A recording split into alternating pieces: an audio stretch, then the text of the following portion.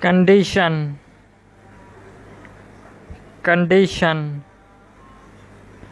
Halat. C O N D I T I O N. Condition. Halat. thanks for watching.